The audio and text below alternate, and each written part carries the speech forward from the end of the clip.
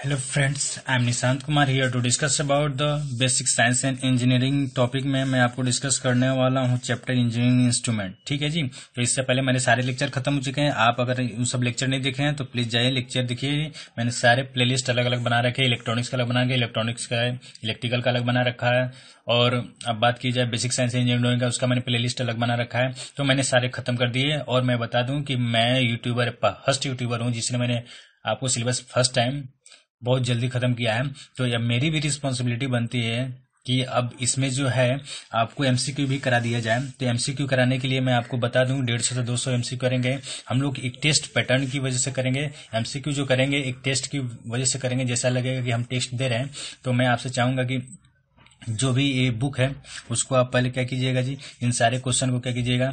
आप लगाइएगा, ठीक है? सारे क्वेश्चन को सॉल्व कीजिएगा, उसके बाद क्या करेंगे? हम लोग उसको सॉल्व करेंगे। तो देखिए इसमें बात की जाए तो देखिए, इसमें सब कुछ है क्या? जो जो आपने पढ़ा है, उसको अप्लाई करना है जी। तो पहले क्वेश्चन की देखा जाए तो क्वेश्चन में क्या बोला है? कि चित्र में दर्शाया गया भाग ए का नाम क्या है जी? देखिए जी भाग कौन सा है? एक, ये मेरा भाग क्या है जी? ए है। तो इसका नाम क्या है जी?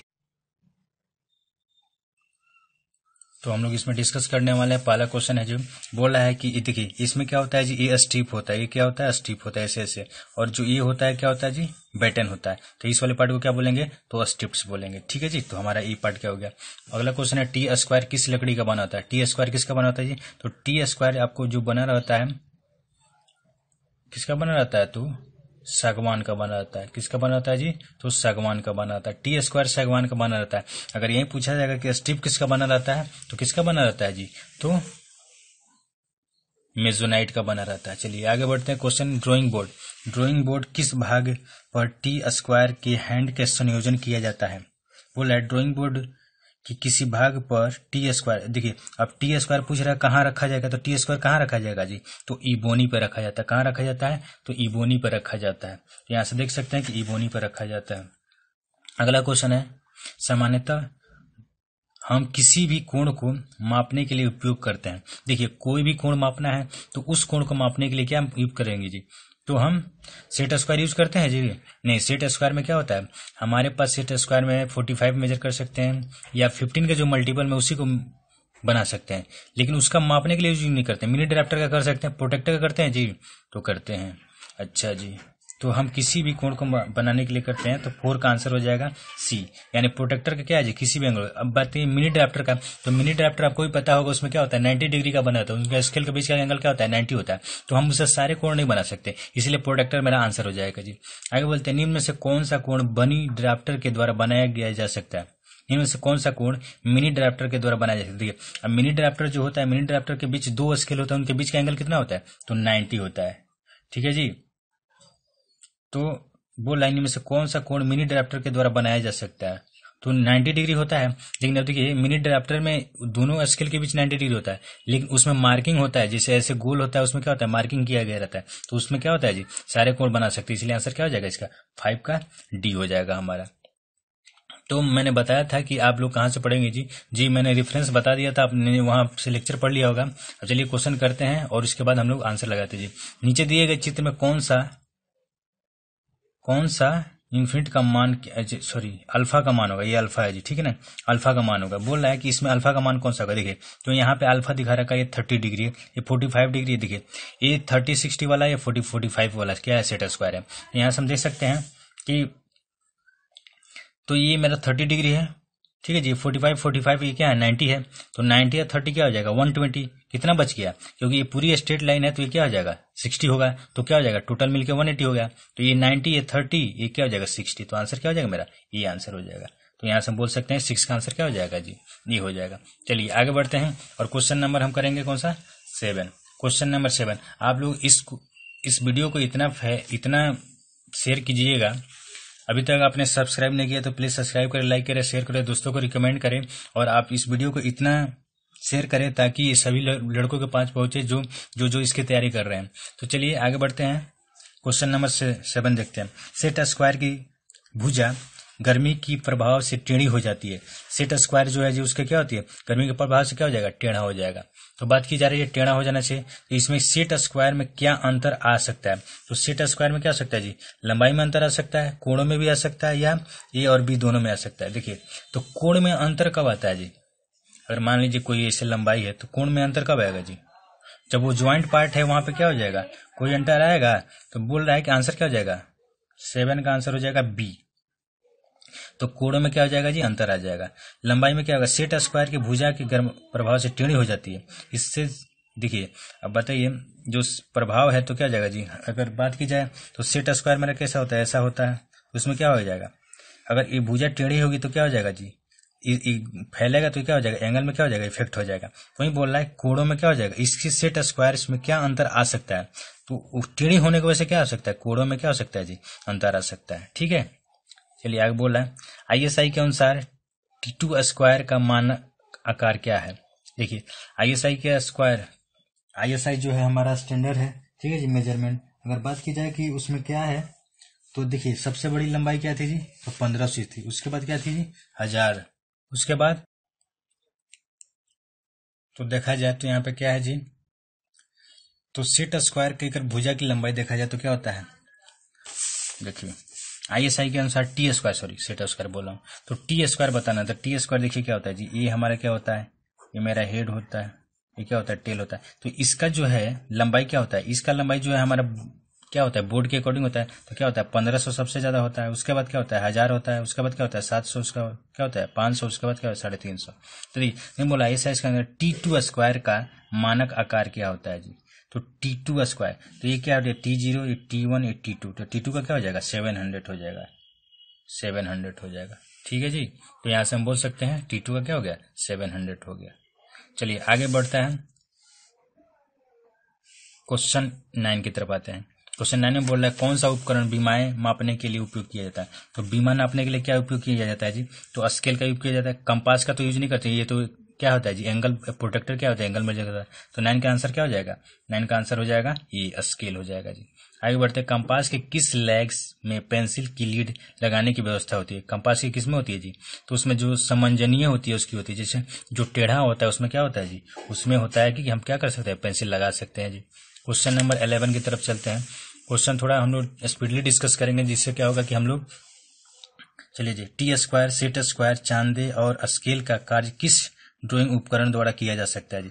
बोला टी स्क्वायर सेट स्क्वायर चांदे और स्केल का कार्य किस ड्राइंग उपकरण द्वारा किया जा सकता है? यानी इन सब का काम किसके द्वारा किया जा सकता है? तो मिनी ड्राफ्टर के द्वारा क्या किया जाता है।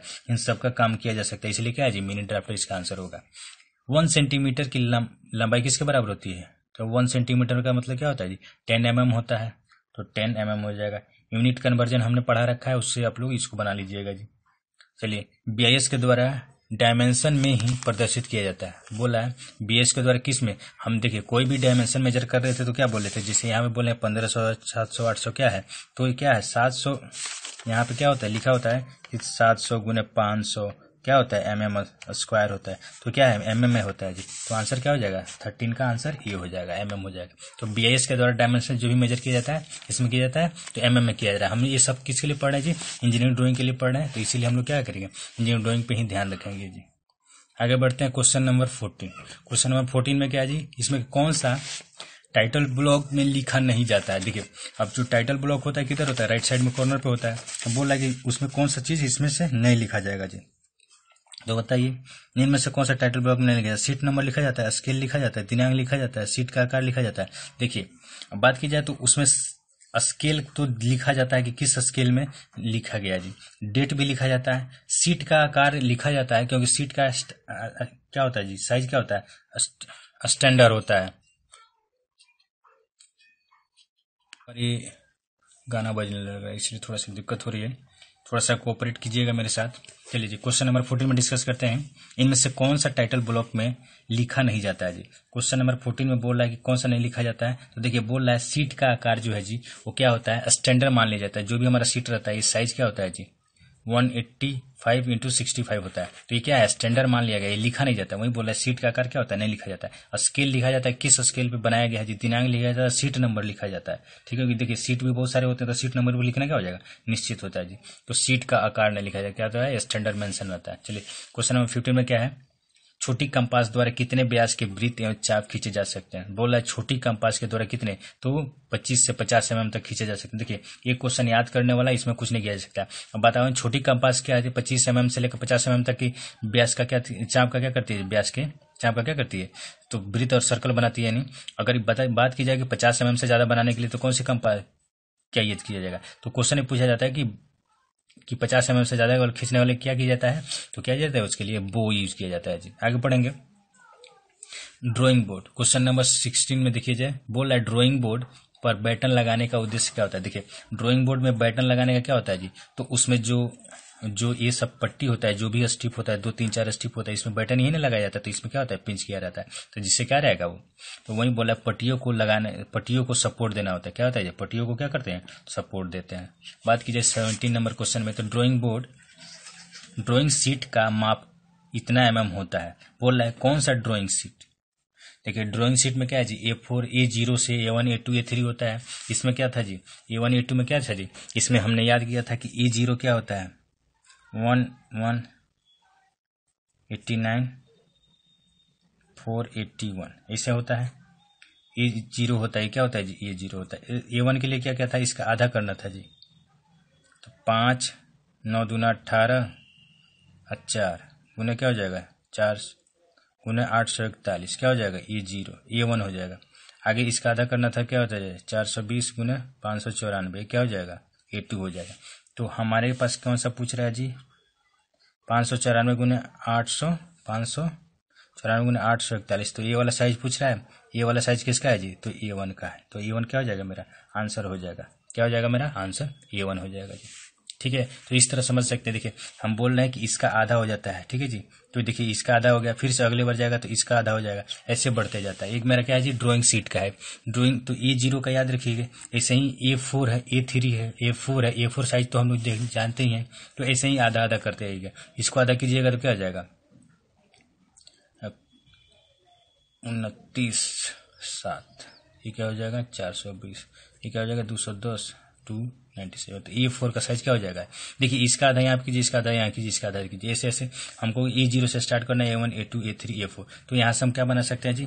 ए ज़ीरो से लेकर ए फोर तक हम क्या किए? ड्रॉइंग शीट का हमने क्या किया? साइज़ ले लिया जी। तो यहाँ से हमने question number seventeen question number eighteen देखिए। क्वेश्चन नंबर एटीन में बोल रहा है डी ज़ीरो वाले ड्राइंग बोर्ड की माप होती है। तो डी ज़ीरो वाले देखिए डी ज़ीरो वाले ड्राइंग बोर्ड का माप याद करने के लिए देखिए क्या कहे। बात की जाए तो सबसे बड़ा drawing board zero D zero होता है। तो डी ज़ीरो में क्या है जी? सबसे ज़्यादा हज़ार गुने सात सौ। सॉरी पंद्रह सौ सबसे बड़ा साइज़ होता है। सॉरी पंद्रह सौ गुने हज़ार, फिर से हज़ार गुने सात सौ, फिर से सात सौ गुने पाँच सौ, फिर से पाँच सौ गुना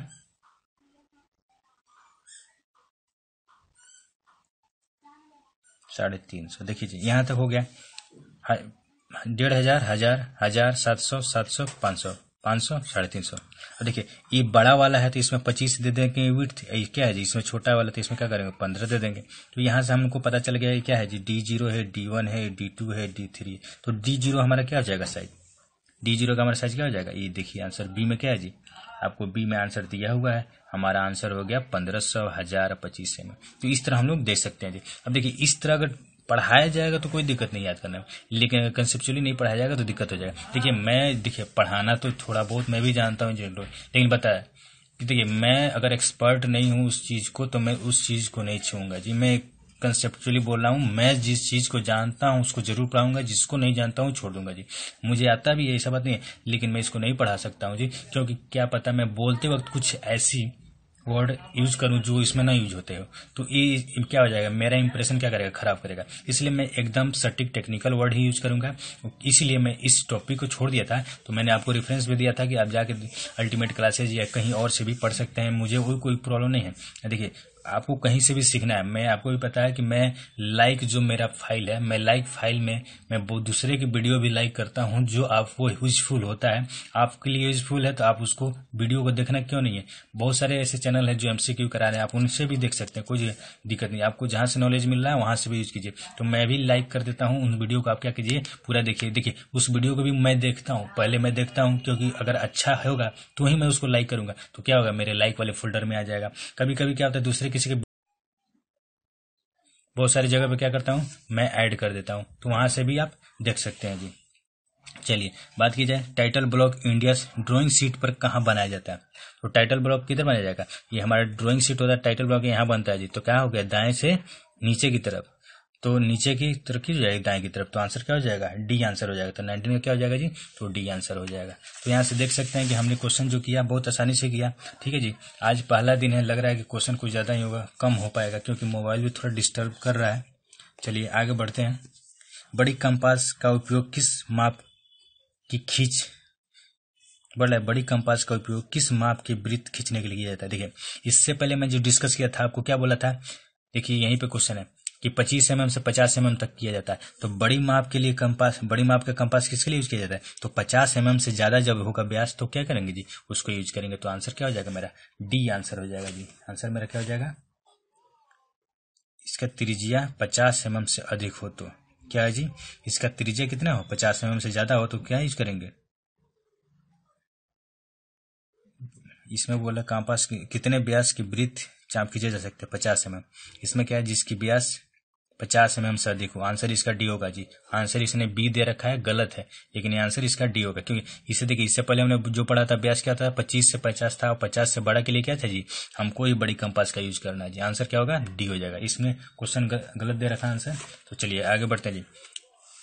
बोल रहा है कि देखिए, सेट स्क्वायर होता है, सेट स्क्वायर दो तरह के होते हैं जी। पैंतालीस पैंतालीस और क्या होता है? तीस, साठ। और नब चलिए तो ये बात कर हैं पैंतालीस पैंतालीस वाले। और नब्बे डिग्री का कोण का सेट स्क्वायर की लंबाई कितनी होती है जी? देखिए ये तो याद करने वाली बात हो गई। तो ये तो हमको याद ही करना पड़ेगा। तो ये बोल रहा है, कितना होता है जी लंबाई उसकी? तो बीस सेंटीमीटर की लंबाई होती है। यानी कहने का मतलब क्या हो जाएगा जी? अगर देखिए, ऐसा होता है जी तो इसमें ए वाली लंबाई है तो ये क्या हो जाएगा? ये बोल रहा है कि 20 सेंटीमीटर का है जी। तो यहाँ से हम बोल सकते हैं कि 40 45 और 90 कोण के सेट स्क्वायर की लंबाई कितनी होती है? तो 20 सेंटीमीटर होती है। ड्राइंग बोर्ड पे बाएँ सिरे से, ड्राइंग बोर्ड पे बाएँ सिरे पर लगे काले रंग की पट्टी को क्या बोलते हैं जी? इबोनी बोलते हैं। क्या बोलते हैं? इसी ईबोनी के हेल्प से तो हम क्या कर रहे थे जी? इसी ईबोनी के जो हेल्प से हम क्या कर रहे थे? उस पर आपको टी स्क्वायर रख रहे थे तो यही ईबोनी है। वही बोल रहा है कि काले रंग की पट्टी लगा होता है जिससे क्या होता है? वो सपोर्ट देता है जी। किसको देता है? तो हमारे टी स्क्वायर को सपोर्ट करता है। अगला क्वेश्चन टी स्क्वायर अंग्रेज़ी में किस अक्षर की तरह दिखता है? नाम से ही पता चल रहा है टी स्क्वायर कैसा होना चाहिए जी? टी की तरह होना चाहिए। यहाँ से हम बोल सकते हैं, कैसा दिखेगा? टी की तरह दिखेगा जी आपको। Question number twenty four I S I I S I के अनुसार ए थ्री ड्रॉइंग सीट का माप क्या होता है? देखिए, अब मैंने आपको ए ज़ीरो बता दिया है। क्या बताया था जी? ए ज़ीरो मैंने बता दिया था। A one A two A three हमको चाहिए। तो ए ज़ीरो का क्या होता है? ग्यारह, एट्टी नाइन, क्या होता है? आठ सौ इकतालीस। देखिए, ये इधर चल जाए, इधर चल जाए उससे कोई फ़र्क नहीं पड़ता, ठीक है ना? वो तो डायमेंशन वाली बात है। तो इसका हम, अगर हाफ़ करेंगे तो क्या मिलेगा जी? पाँच नौ दूना अट्ठारह चार दूना देखिए, एक रिमाइंडर बचा उस रिमाइंडर को नहीं लिखते हैं, ठीक है ना? रिमाइंडर को छोड़ देते हैं। चलिए, अब इसका हाफ़ कर देंगे तो क्या हो जाएगा? चार सौ बीस, पाँच सौ चौरानवे। ठीक है जी, अब इसका हाफ़ कर देंगे तो क्या मिलेगा? ये मेरा ए ज़ीरो हो गया ए वन हो गया ए टू हो गया, अब ए थ्री मिलने वाला है। तो ये मेरा चार सौ बीस तो यहाँ आ जाएगा, और ये क्या हो जाएगा? दो, नौ दूना अट्ठारह सात दूना चौदह तो ये क्या हो जाएगा? आपको चार सौ बीस, दो सौ संतानवे क्या हो जाएगा? ए थ्री का साइज़ हो जाएगा। ए थ्री का साइज़ देखिए, कहाँ है? क्वेश्चन में है दो सौ संतानवे चार सौ बीस। तो चौबीस का आंसर क्या हो जाएगा जी हमारा? ये आंसर हो गया। तो देखिए कितना आसान है। वही बोल रहा हूँ कंसेप्चुअली जाएगा, कोई दिक्कत नहीं होगा। देखिए four H five H nine H किस पेंसिल का उदाहरण है? देखिए, बात की जाए देखिए, पेंसिल का डिवाइड किया गया। है देखिए एक्चुअली नाइन एच जो सबसे हार्डेस्ट पेंसिल है, देखिए तो छह पेंसिल चली जाइए नाइन एच से चल जाएगा लो कितने छह पेंसिल तो क्या हो जाएगा? हार्ड में आएगा। देखिए एच का मतलब हार्ड होता है बी का मतलब ब्लैक होता है जी। तो हार्ड मतलब यहाँ पे क्या होता है जी? जो कम गाढ़ा दिखेगा, कम गाढ़ा दिखेगा, लेकिन बी मतलब ब्लैक होता है, जो क्या हो जाएगा? डार्क दिखेगा। लेकिन हार्ड का मतलब क्या है जी? थीन भी रहे। हार्ड का मतलब क्या है जी? थीन भी रहेगा। तो देखिए, छह इसमें होते हैं nine H eight H seven H six H, five H, four H. कितने हुए? छह हो गए। अब जो थ्री एच होगा, वो किसमें आ जाएगा? ये आपको हार्ड में आ जाएगा, ये मीडियम में आ जाएगा। Three H, two H H. चलिए जी, अब बात करते हैं, अभी सॉफ्ट का बात कर लेते हैं। हम एक्चुअली इसलिए बात करें कि याद करने का तरीका क्या जी? देखिए, नाइन से हम गए, जहाँ तक गए, छह तक तो क्या हो जाएगा? हमारे किसमें आ जाएगा? तो हमारा हार्ड में आ गया। सॉफ्ट की बात की तो सबसे सॉफ्ट क्या होता है? तो सेवन बी होता है। सेवन बी तो इसमें भी क्या करिए? छह चल जाइए। तो six B, five B, four B three B, two B, कितना हुआ जी? तीन और तीन छः तो यहाँ तक हो गया। अब टू बी के बाद वन बी कहाँ जाएगा? इसमें आ जाएगा। ठीक है जी? उसके बाद एच बी आता है। उसके बाद H, two H, three H. देखिए, इसमें कितना? पाँच ही होगा ना? तो एक क्या हो जाएगा? एक क्या हो जाएगा जी? जो आज जो बचा वो क्या होता है? एफ़ होता है जी। एक जो पेंसिल होता है, जो बच जाता है, वो क्या होता है जी? एफ़ होता है। देखिए, मैं इसके आपको बताना चाहूँगा। देखिए, अगर बीच वाले से हम डायरेक्ट लिखते तो क्या हो जाता है? दिक्कत हो जाता है। इसीलिए मैंने क्या किया, आपको आपको पहले इधर से छः लिखा और फिर से इधर से भी छः लिखा। उसके बाद मैंने आपको बताया कि इसमें लिखने के लिए जो एक बच जाएगा, उसको क्या लिखिएगा? आप एफ़ लिखी जाएगा इसको क्या लिखिएगा? एफ़ लिखिएगा। ठीक है? तो यहाँ से किसी को, मुझे नहीं लगता किसी को अब दिक्कत होगी कि मध्यम में क्या आता है जी? एफ़ आ जाता है। ठीक है? तो वही पूछ रहा है कि, अब देखिए, इस वाले में पूछ रहा है कि इक्कीस पेंसिल का उदाहरण है। तो देखिए नाइन एच से फोर एच तक आया, इसका मतलब क्या है जी? ये हार्ड पेंसिल है तो हार्ड पेंसिल में क्या हो जाएगा? तो आंसर क्या हो जाएगा? पच्चीस का। तो पच्चीस का आंसर क्या हो जाएगा? सी हो जाएगा। तो यहाँ तक हम कैसे बोल सकते हैं जी? बहुत सी सिंपल है।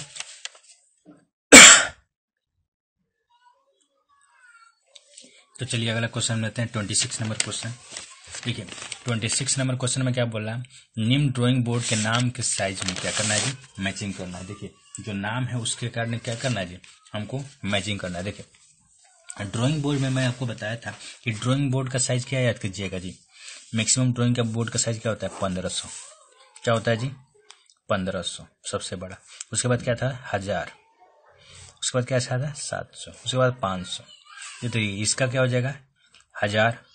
पंद्रह सौ गुने हज़ार। देखिए, कोई भी ड्राइंग बोर्ड होगा, उसका थ्री डायमेंशन होगा। जी, लंबाई, चौड़ाई, मोटाई होगी। तो हमने क्या बताया था? ऐसे याद कर लीजिए। अब क्या यहाँ पे हज़ार हो गया यहाँ पे सात सौ गुना कर दीजिए, यहाँ पाँच सौ कर दीजिए। यहाँ पे क्या कीजिएगा जी? साढ़े तीन सौ कर दीजिए। अब देखिए, ये दोनों बड़ा है तो इसमें पच्चीस से गुना करने को बोला था। ये दोनों बड़ा है तो इसमें पच्चीस से गुना करने को बोला था। ये दोनों छोटा है तो क्या है? पंद्रह से गुना कर दीजिए। ये क्या है जी? लंबाई, चौड़ाई, मोटाई हो गया। अब यही बोलते हैं डी ज़ीरो कौन सा हो जाएगा? तो डी ज़ीरो ऐसे ही पता चल रहा है कि हज़ार है। पंद्रह सौ हज़ार वाला है जी। तो ये आंसर हो जाएगा, क्या हो जाएगा? टू का ई हो जाएगा। चलिए जी ऑप्शन डायरेक्ट हम देख कर मैच करा लेते हैं जी। ऑप्शन क्या है? तो छब्बीस का ऑप्शन आपको करेक्ट है सी तो सी में ए का टू हो गया। क्या है जी? देखिए डी ज़ीरो क्या हो जाएगा? पंद्रह सौ हज़ार पच्चीस, ठीक है? डी वन क्या हो जाएगा? हज़ार सात सौ, हज़ार सात सौ कहाँ है? चार में। तो चार में है, हज़ार सात सौ पच्चीस। ठीक है सी सी की बात की जाए तो डी टू तो यहाँ पे हो जाएगा सात सौ, पाँच सौ, पंद्रह। क्या हो जाएगा? डी थ्री क्या हो जाएगा जी? यहाँ पाँच सौ, साढ़े तीन सौ, पंद्रह। देखिए मतलब इससे आप मैच करा लीजिए, आपको कोई दिक्कत नहीं होगा जी। मैं वही बोलता हूँ, जब भी पढ़े कंसेप्चुअल पढ़े, किसी के बहकावे में नहीं आया जी। आप जानते हो, आप ग्रेजुएट हो चुके हो, बहुत सारे लड़के ग्रेजुएट हो चुके हैं, बहुत सारे टेंथ पास कर चुके हैं तो आप एक एडल्ट यूथ हो चुके हैं जी। आजकल तो यूथ का ही जमाना चल रहा है जी। यूथ यूथ तो आप लोग भी आप कैपेबल हो कि डिसाइड कर सकते हो कौन सही पढ़ा रहा है, क्या पढ़ा रहा है, कहाँ से पढ़नी चाहिए, कहाँ से नहीं पढ़नी चाहिए। मैं ऐसा नहीं कहता कि मैं पढ़ा रहा हूँ, मेरे से पास ही पढ़ो। आप कहीं से भी पढ़ सकते हो, कोई दिक्कत नहीं है जी। क्योंकि ना ही मैं इस साइट आपको पता है नहीं है मैं अर्निंग के लिए नहीं बनाया हूँ। मुझे इच्छा थी, मैंने बना दिया ठीक है जी। तो चलिए, आइए, आगे बढ़ते हैं। अगला क्वेश्चन में ड्राइंग सीट ए ज़ीरो से ए फोर तक बढ़ते क्रम में होता है, देखिए। अब ए ज़ीरो से ए फोर जब भी जाएँगे, देखिए तो साइज़ क्या हो रहा था कि यहाँ से जब यहाँ बढ़ रहे तो क्या हो रहा था? साइज़ घट रहा था ना? वही बोल रहा है, में होता है, सही है। ए ज़ीरो से ड्राइंग शीट में ए ज़ीरो से ए फोर तक बढ़ते क्रम में होता है, सही है। गलत है। ए ज़ीरो से ए फोर तक बढ़ते क्रम में होता है। अच्छा जी देखो ए ज़ीरो से ए फोर तक बढ़ते क्रम में होता है, सही है? नहीं, गलत है जी। ए ज़ीरो से ए फोर में क्या होता है? बढ़ते कदम में होता है, गलत है। यही आंसर क्या हो जाएगा? तो सत्ताईस का हमारा आंसर क्या हो जाएगा? बी हो जाएगा जी। क्योंकि देखिए, ये क्या है जी? हमको यहाँ से ढूंढना है, जो क्या है, बोला ए ज़ीरो से ए फोर तक जाएँगे तो क्या होगा? साइज़ घटेगा। तो क्या हो जाएगा? ये बोल रहा है, बढ़ते क्रम में है। तो ये क्या है? गलत बात है ना? तो यही मेरा सही हो जाएगा। देखिए जी ऐसे ऐसे ही कंफ्यूजिंग वर्ड्स क्वेश्चन आपको भी पता होगा कि मैथ रीजनिंग में इस बार आए थे तो बहुत सारे लड़के क्या हो रहे हैं ग्रुप डी में मैंने बात किया, कि लास्ट के समय में आपको क्या हो रहा है ऐसे ही कंफ्यूजिंग लैंग्वेज वाले क्वेश्चन आ रहे थे तो सारे लड़के क्या हो रहे थे कन्फ्यूज़ हो रहे थे। इसीलिए मैं बोलता हूँ कि ऐसे क्वेश्चन की प्रैक्टिस करें जो लैंग्वेज में आपको उलझाते हैं। बहुत सारे इंस्टीट्यूट वाले भी बाद में इस पर ध्यान दिया। मैं स्टार्टिंग में ही बताया था कि ऐसी प्रॉब्लम आएगी जी। चलिए अगला क्वेश्चन लेते हैं ट्वेंटी एट नंबर निम्न में से ड्राइंग बोर्ड डी टू का आकार क्या होता है? देखिए, अब मैंने डी ज़ीरो बता दी ये ज़ीरो बता दी आपको डी टू बताना है तो डी टू है जी, हमारा यहाँ पे तो क्या हो जाएगा? एक हज़ार सात सौ, एक हज़ार सात सौ कहाँ है जी? तो सी में, अट्ठाईस का आंसर क्या हो जाएगा? तो सी हो जाएगा जी। अट्ठाईस का आंसर दिया है, एक मिनट सॉरी ये डी ज़ीरो है ये डी वन है, ये डी टू है। तो डी टू मेरा क्या हो जाएगा? सात सौ सौ वाला हो जाएगा। ठीक है ना जी? सात सौ, पाँच सौ, पंद्रह हो जाएगा। सात सौ, पाँच सौ, पाँच आप देखिए, मैं एक बार बता दिया, आप उसको अलग लिख लीजिए। आप उससे क्या कीजिए मैचिंग कराइए। देखिए, उसी क्वेश्चन को बार बार ऐसे वैसे पूछा जा रहा है। तो एक बार कंसेप्ट सीखे। अगर अगर मान लीजिए आपको लग रहा हो कि नहीं, मैं अच्छा पढ़ा रहा हूँ तो मैं इसका भी ड्राइंग इंस्ट्रूमेंट का भी लेक्चर बना दूँगा। तो आप लोग वीडियो में, कमेंट में, इसको कमेंट पास कीजिएगा कि मैं वीडियो बनाऊँ या ना बनाऊँ। आप इतना मेरे से सेटिस्फाई हैं या नहीं है? क्योंकि देखिए, मैं थोड़ी सी एक्चुअली मैं इंजीनियरिंग ड्राइंग के बारे में बहुत कम जानता हूँ। मैं भी इंजीनियरिंग बैकग्राउंड से हूँ, लेकिन हम लोगों को देखिए इलेक्ट्रॉनिक्स वालों को इलेक्ट्रिक वालों को उतना ज़्यादा नहीं पढ़ाया जाता। सिविल वाले ज़रूर पढ़ते हैं तो इसलिए मैं इसको बनाना नहीं चाहता। लेकिन इतना भी टफ नहीं है कि मैं इसको नहीं बना सकता। लेकिन वही है, समझाने के वक्त में देखिए, समझा तो रहा हूँ लॉजिकल इसलिए मैंने क्वेश्चन इस टॉपिक को मैंने बनाया नहीं था। तो आप लोग कमेंट में लिख कर बताएँगे कि मैं वीडियो लेक्चर इसका बनाऊँ या ना बनाऊँ। अगर दो सौ, ढाई सौ कमेंट अगर आते हैं इसके लिए बनाने के लिए तो मैं इसको ठीक है, इसका वीडियो बना दूँगा। नहीं तो अभी हमारे एमसी की जो टेस्ट है तो चलता ही रहेगा। ठीक है ना जी? तो इसको बाद में भी बना सकता हूँ, ऐसा कोई नहीं है। तो कम से कम आप लोग दो सौ, ढाई सौ, कम से कम इसको कमेंट कीजिए। मैं आपको बता दूँ कि मैंने इससे पहले सारे लेक्चर बना दिए basic science engineering, drawing, electrical, electronics से मैंने प्लेलिस्ट बना रखे आप वहाँ पे जाएँ और सारे वीडियो देखें। आपने अब तक मेरे चैनल को सब्सक्राइब नहीं किया तो प्लीज़ लाइक करें, शेयर करें, सब्सक्राइब करें और दोस्तों को भी रिकमेंड करें। ज्वाइन बटन आया तो उसको भी दबाएँ, बेल आइकन आया तो उसको भी दबाएँ। सेट रिमाइंडर को भी ऑन करिए जब भी मैं वीडियो डालूं। तो चलिए, ज़्यादा देर में करते हुए आगे बढ़ते हैं जी और क्वेश्चन नंबर तीस की तरफ़ बढ़ते हैं। क्वेश्चन नंबर ट्वेंटी हो गया। क्वेश्चन नंबर ट्वेंटी नाइन की तरफ़ बढ़ते हैं। निम्न में से कौन सा इंस्ट्रूमेंट से क्षैतिज रेखा, खड़ी रेखा और कोण तीनों की खींची जा सकती है। देखिए अब बोल रहा है कि देखिए, अब हमारे पास जो ड्राइंग है ड्राइंग बोर्ड पे है जी। ड्राइंग बोर्ड है, इस पे हम बुक को ऐसा भी लाइन खींचना है, ऐसा भी लाइन करना है, ऐसा भी लाइन खींचना है तो मैं आपको बता रहा हूँ, ये जो है होरिजेंटल लाइन कौन ड्रॉ करता है जी? तो होरिजेंटल लाउ आपको टी स्क्वायर द्वारा टी स्क्वायर द्वारा होरिजेंटल लाइन ड्रॉ किया जाता है। वर्टिकल लाउ इंक्लाइन लाइन आपको आपको सेट स्क्वायर की हेल्प से हम लोग ड्रॉ कर सकते हैं। और इन सबको काम करने के लिए कौन काम करता है? तो तो ये, देखिए, अब देखिए, अब सब एक्चुअली देखिए तो सबका काम कौन कर रहा है? हमारा मिनी ड्राफ्टर कर रहा है। तो इस तरह हम बोल सकते हैं कि जो मिनी ड्राफ्टर है, वो क्या है जी? सबका काम कर रहा है तो ये क्या हो जाएगा? अल्टीमेट सबका काम कर रहा है तो ये मेरा होरिजेंटल लाइन भी इंक्लाइन लाइन लाइन भी वर्टिकल लाइन भी यही ड्रॉ करेगा। तो इस तरह हम बोल सकते हैं कि जो हमारा इंस्ट्रूमेंट में क्षैतिज रेखा, खड़ी रेखा और कोण पे तथा कोण पे तीनों की खींची जा सकने वाली लाइन कौन ड्रॉ करेगा? तो हमारा मिनी ड्राफ्टर करेगा। तो ट्वेंटी नाइन का क्या हो जाएगा जी? ट्वेंटी नाइन का हमारा आंसर क्या हो जाएगा? तो मिनी ड्राफ्टर डी हो जाएगा। तो यहाँ से हम बोल सकते हैं डी हो जाएगा जी। आगे बढ़ते हैं क्वेश्चन नंबर तीस की तरफ़। देखिए क्वेश्चन नंबर तीस। क्वेश्चन नंबर तीस में क्या टी स्क्वायर में कौन सी रेखाएँ खींची जाती है? टी स्क्वायर से कौन सी रेखा खींची जाएगी?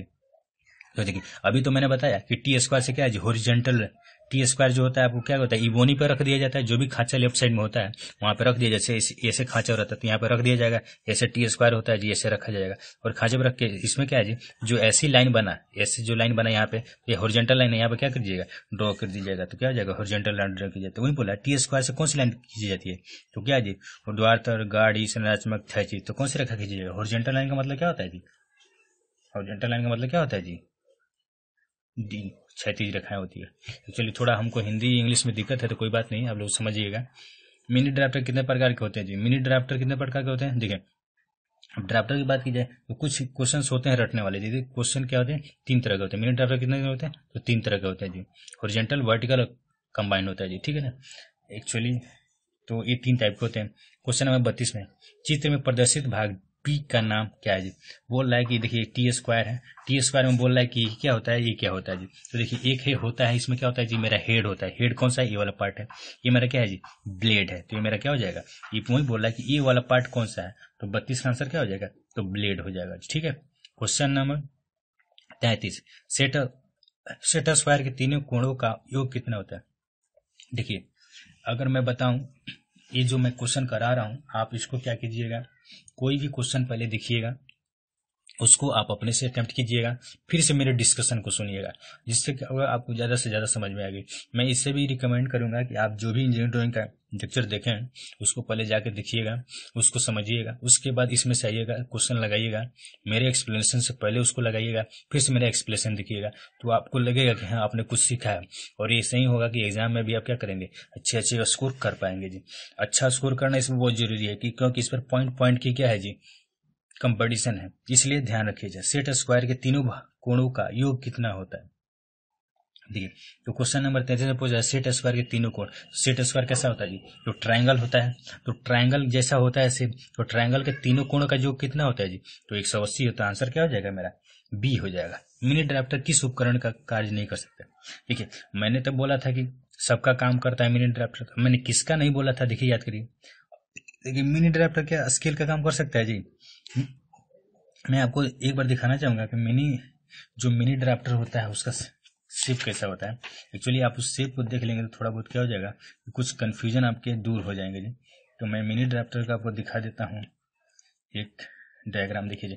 तो मिनी ड्राफ्टर आप देख सकते हैं जी यहाँ पे। इसमें क्या होता है जी? ये स्केल ये देखिए स्केल का भी है। इसमें क्या है जी? एंगल भी 90 है। ये क्या होता है? यहाँ से भी घूमने वाला तो यहाँ से भी घूमने वाला तो यहाँ से भी घूमने वाला होता है। तो यहाँ से कह सकते हैं कि स्केल का काम करेगा जी? तो अब इसी बात है करेगा। तो मिनी ड्राफ्टर किसका काम करेगा जी? तो स्केल का काम हमारा करेगा जी। आगे बढ़ते हैं। अब बोला कि टी स्क्वायर का काम करेगा? देखिए टी स्क्वायर क्या करता था जी हमारा? टी स्क्वायर क्या करता था हमारा? तो टी स्क्वायर हमारा होरिजेंटल लाइन ड्रॉ करने में हेल्प करता था।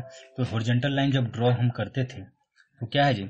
इसका मतलब क्या है जी? होरिजेंटल लाइन मिनी ड्राफ्टर तो यूज़ करता था जी। चलिए, आगे प्रोटेक्टर क्या एंगल मेजर कर सकता है जी? तो ऑब्वियस सी बात है।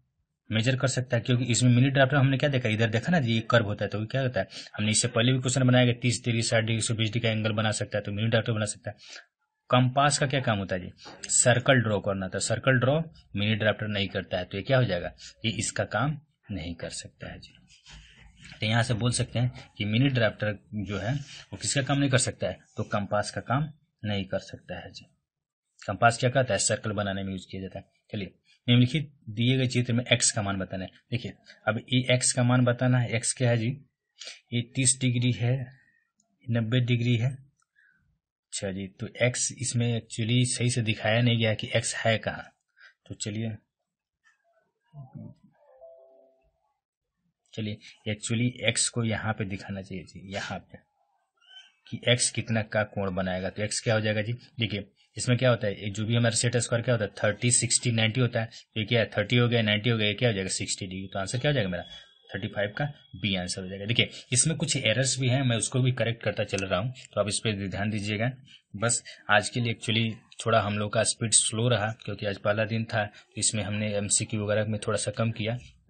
मैं इसको आपको सजेस्ट करूँगा कि आप इस वीडियो को देखने से पहले आप क्या कीजिएगा, इसमें जो भी क्वेश्चन है, इसमें जो भी क्वेश्चन है, आगे आप जो भी क्वेश्चन है, इसको पूरा कीजिएगा। हम लोग कल इसको पूरा का पूरा कंप्लीट करेंगे। मैं सभी से रिक्वेस्ट कर रहा हूँ, ये प्लेटफॉर्म की बुक है, मेरे लगाने से पहले आप लगाइए जी। मैं वीडियो को ज़रूर ही क्या करता हूँ डेली का डेली डालता हूँ, इसलिए इसमें कोई कहने की बात नहीं है। आप मेरे वीडियो लेक्चर देखने से पहले आपको भी पता होगा कि वीडियो मैं भले प्रीमियम कर देता हूँ, ठीक है? अगर मान लीजिए आपने टेस्ट नहीं दिया तो वीडियो आप थोड़ा देर से देख लीजिए। अगर वीडियो आपने, मैं पहले अगर कर भी दिया, अगर मैंने अपने लगा भी लिया तो आपको पता है कि प्रीमियम मेरा वीडियो कब हो जाएगा। क्योंकि देखिए, अभी अब दिवाली भी खत्म हो गया, छठ भी खत्म हो गया तो किसी को कोई अब फेस्टिवल वगैरह का भी टेंशन नहीं है। सब किसी को आराम से पढ़ना है। तो अब ऐसा नहीं होगा कि वीडियो मैं नहीं डालूँगा, मैं डेली वीडियो डालूँगा। इसमें इधर थोड़ा छुट्टी था तो इसलिए कोई बात नहीं, अब मैं बता दूँ कि आपको जो रिज़ल्ट आने वाला है, उससे आप घबराइए नहीं, क्योंकि सेकेंड स्टेज का जो रिज़ल्ट फिर से आने वाला है। सॉरी जो रिज़ल्ट आने वाला है तो क्या हो जाएगा? ज़्यादा जिसका बाउंड्री पे होगा, उसको थोड़ी सी दिक्कत हो सकती है। लेकिन आप तैयारी तो एटलीस्ट करें। तैयारी करने के बाद ही ना जी नहीं करना होगा या करना होगा रिज़ल्ट के बारे में मत सोचे मैं सबसे रिक्वेस्ट कर रहा हूँ कि रिज़ल्ट के बारे में कोई नहीं सोचे रिज़ल्ट से क्या होने वाला है, क्या नहीं। जम के तैयारी करें, अपने आप हो जाएगा जी। मैं इसमें बोलूँगा, बाकी जो भी क्वेश्चन है, इसमें जो आपको क्वेश्चन कितने थे जी? सेवेंटी नंबर सेवेंटी क्वेश्चन है। तो अब मैं थर्टी से अगले दिन क्वेश्चन कराऊँगा। तो बस आज के लिए इतना ही। अब तक अब देखिए, और कमेंट में ज़रूर लिखिएगा कि मैं इंजीनियरिंग ड्राइंग के एम सी कराना अच्छा रहेगा। देखिए इंजीनियरिंग ड्राइंग के इंस्ट्रूमेंट कराऊँगा, उसके बाद मैं स्पीड वेलोसिटी चलूँगा, ये सब जो भी है लाइन्स वगैरह तो सारे के सारे हम लोग करेंगे, और उसके बाद क्या करेंगे खत्म करेंगे। Thank you thank you so much